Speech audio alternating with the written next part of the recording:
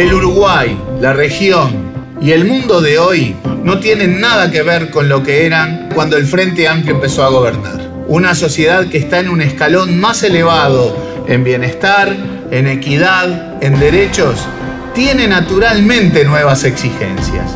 Y con una visión renovada del mundo, el Frente Amplio tiene que estar a la altura de las circunstancias.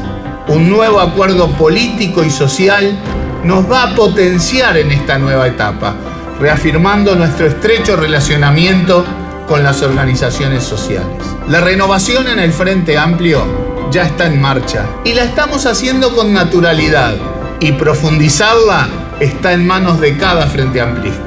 Mario Vergara, presidente. Renovación en acción. Frente Amplio.